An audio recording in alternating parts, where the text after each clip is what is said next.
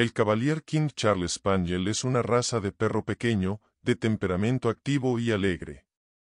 Su principal función ha sido la de mascota de compañía, lo que se muestra en pinturas del siglo XVI. Durante el siglo XVI, un pequeño tipo de perro de aguas fue bastante popular entre la nobleza de Inglaterra.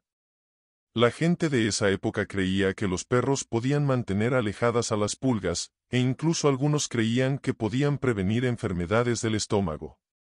Estos perros fueron llamados a veces, perro de agua suave, o consolador, cuando las señoras viajaban en carruajes durante el invierno, llevaban un perro de agua sobre sus faldas para mantener el calor.